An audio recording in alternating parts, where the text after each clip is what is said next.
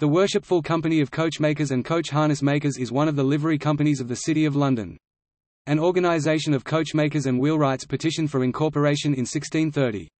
The petition was granted almost 50 years later, in 1677, when a royal charter was granted to the coachmakers. The wheelwrights were separately incorporated in 1670. As coaches have been replaced by cars, the Coachmakers and Coach Harness Makers Company has lost its role as a body responsible for controlling the quality of coaches.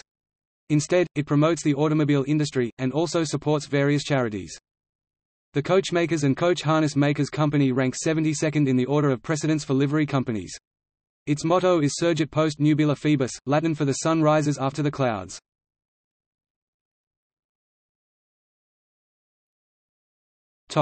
External links